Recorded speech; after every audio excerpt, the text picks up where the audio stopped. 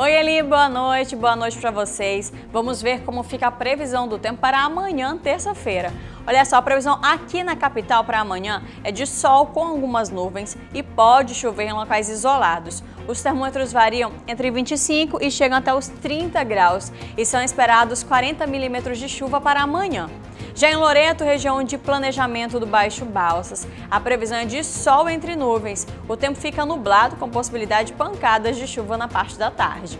A mínima é de 22 e a máxima chega a 31 graus. E para a gente encerrar, na cidade de Alto Parnaíba, o sol aparece, mas há possibilidade de pancadas de chuva.